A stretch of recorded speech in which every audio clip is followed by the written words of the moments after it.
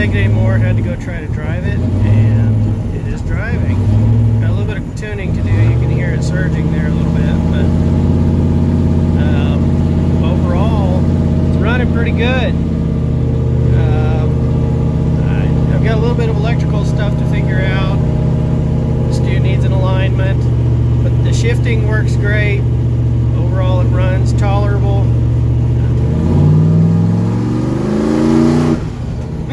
I mean, that that probably was not even on boost, but it just it, it's gonna run good. I think.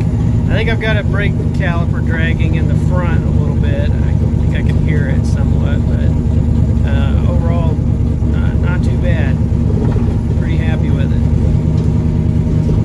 I think I've got a big stick up here somewhere. I gotta watch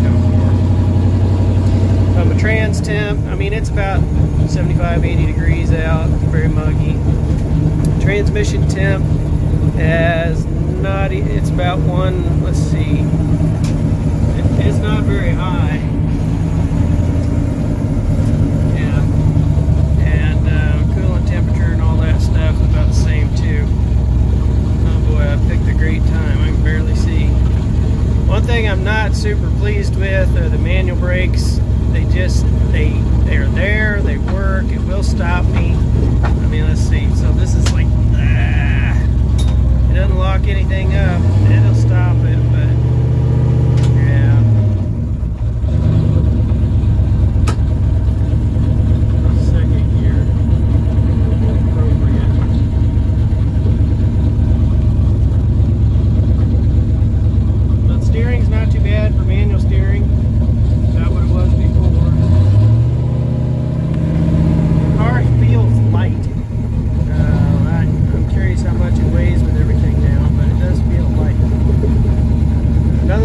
not overheating. It gets up to about 190 and then it comes right on back down.